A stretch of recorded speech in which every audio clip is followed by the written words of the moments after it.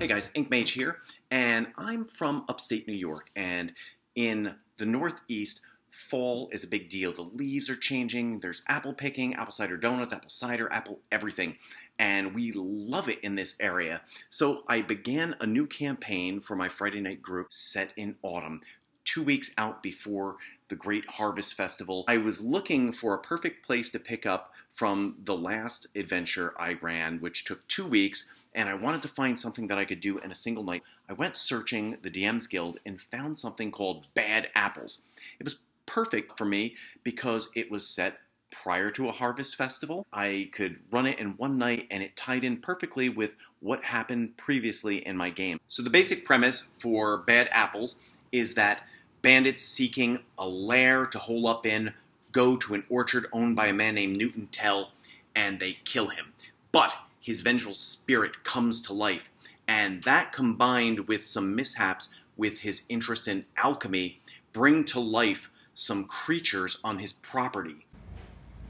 To put my players in the festive mood of the upcoming Harvest Festival, I adorned my DM screen with some lights as well as put some up over where I keep some of my maps and minis. This is a tavern in the village where they live and it's called All the Luck in the World. The adventure began here only because they had to confront a rival adventurer named Chilton Gaines that they have some problems with. After that confrontation, the players decided to strike out for Newton Tell's orchard. Along the way, they encountered the remains of the bandits who fled from the vengeful spirit those bandits made an offer uh, to uh, give the players information as well as collect some gold.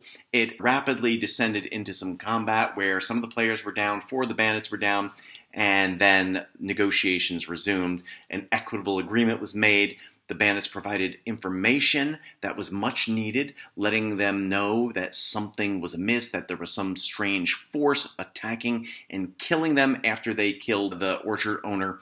And so the players then moved on after uh, being relieved of some of their gold. For the encounter with the bandits on the road, I used a map from Wizards of the Coast called the King's Road. I've gotten a lot of mileage out of this great map.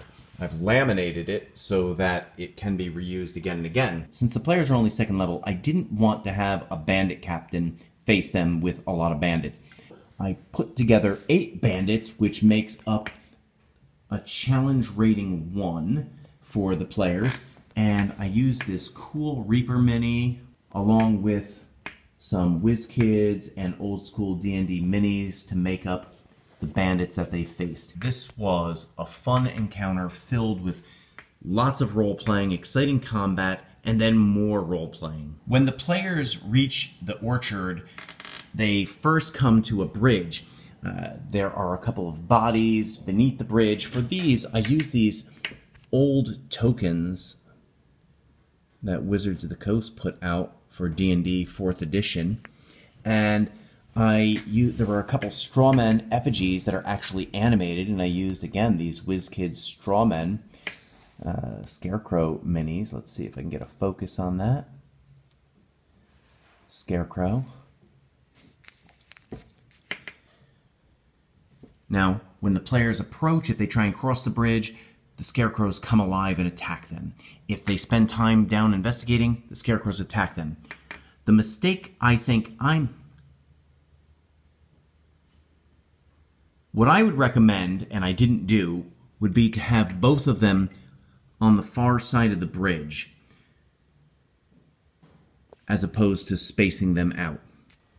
There are a lot of areas in the orchard to explore. Now, I don't have a lot of trees, nor do I have enough space on my table, and I've got a big table to have every area covered. So I set this up to represent the different places that they could explore and just recycled it one of the neat things my wife suggested is the great thing about using one of the Paizo uh, flip maps is that you can put dry erase on it. So my wife suggested I put little marks to represent apples that have fallen. That was very clever. And I used some more scarecrows, including this great old scarecrow from Wizards of the Coast, Scarecrow Stalker. Love that guy. He's very spooky. And they were only actual scarecrows. There were other encounters to be had in here. I don't like to railroad my players, and as much as I wanted them to explore the orchards and get some of the goodies and learn things, I didn't force it. The only thing they ended up encountering in the orchard on their own, because they were very nervous and wanted to go straight through to the mill, were a couple zombies. And I used this Strahd zombie that my brother gave me because the look the arm is missing, but I still think that's pretty cool. I used one of these Pathfinder zombies from the Undead Horde collection. The adventure when they reach the mill in the area, there are several storage sheds and a stable, and then the mill itself. I got rid of one of the storage sheds just again to conserve space. It really didn't do anything to advance the story. You can this is one of the things I love with taking adventures and mining it. You can make it your own, you can do what you want. Your players don't know the difference and you can still have a great time. So I'm going to take you through the area of the mill and show you what I did and talk about what happened with them. So here is the mill compound. The glare, by the way, just comes from my overhead lights. So please ignore that. When they explored the stables, they found a starving horse, Jasper, that they tried to calm down. One of the players got kicked. They decided to try and find some food for him, and tearing open these bags, they found a bunch of apples. However, those apples spilled forth because they were these creatures called apple blights, and the apple blights began to attack. Now, the party was split up. Others were over here at the mill itself, opening the door and inspecting. Now, I took some artistic liberties with representing the mill as opposed to how it is in the book, but it still captures the flair and the and the spirit. I used some unpainted pieces from my mill. You can see the mill over there that I haven't yet painted, and I will, and we'll talk about that in another video, to create an apple press. And these pieces, again, with the mill, are from uh, the Archania workshop on Etsy. I also picked up from them these awesome keg stands. And so I painted those up, and those are filled with apple cider. And so this is basically the workshop for it. This is the study. I guess some terrain crate furniture in there, some painted, some not, to represent his study where he works on his alchemical formulas to help his orchard. And then, let's see, take that out of there for a second. I'll show you. Here's his bedroom. And again, I have some Archania Workshop nightstands and a bed and a wardrobe, as well as a WizKids mirror. And this is actually from a little Harry Potter set that I painted up. Have some tiny furniture there as well. Speaking of tiny furniture, here is an alchemy cabinet, and it was filled with potions, and some of the potions spilled, animating it. So when the characters came over, I used this animated door from WizKids. I know it's not a cabinet, but I could move it around to show that it came to life, and it was attacking them and hurling potions at them. The pieces making up the actual structure itself are some Dwarven Forge. This is from Dungeon of Doom, but then you have some regular pieces as well as city builder pieces and some castle builder pieces. And look at this. So I'm making use of quite a bit of terrain and set dressing from a lot of sources to flesh it out and make it look good. Let's go on over because I really, really love this. Is an Archania workshop again on Etsy. Uh, the link will be in the description. And here is the well that I painted up.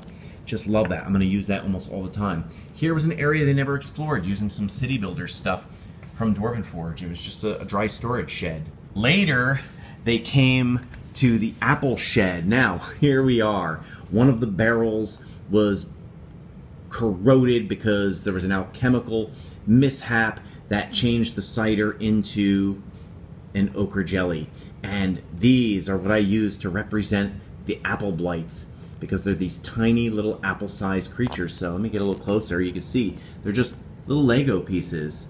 And I spilled them out. A fun, freaky little monster that spooked the players out.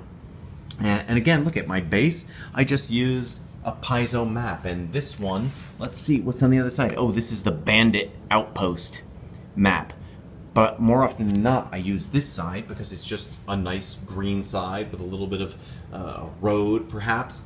And everybody always asks me about the trees. I just ordered these. I don't even know where on Amazon. I just ordered them, and I haven't really finished them off as well as I should. But I glued them onto bases, and they look good. I have these big trees also from Amazon. I used some Aranthorn Mountain pieces from Dwarven Forge. Lots of opportunity when you mix and match your terrain to create something that I think looks pretty good.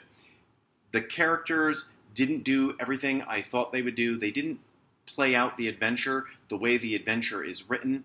They seldom do, and that's okay.